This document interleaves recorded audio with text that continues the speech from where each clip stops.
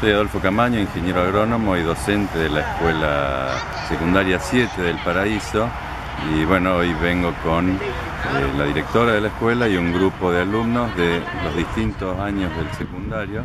Realmente me parece muy interesante que hayamos hecho esta recorrida y que el INTA se abra esta recorrida. Alumnos que va desde, eh, desde la estación meteorológica donde por ahí se toman todos los parámetros que después influyen en las decisiones que tienen que ver con lo productivo, por ahí no con decisiones, sino que explican qué, pasa, qué pasó con los procesos. O sea, que los chicos empiecen a entender eso y después ver los distintos procesos productivos y que en muchas cosas relacionen eh, con materias que tienen. Nosotros tenemos una orientación biológica que relacionen mucho de lo que ven en la escuela con lo que después se aplica en en la producción de cultivos, de flores, de frutas, y que vean que tiene un sentido también eso.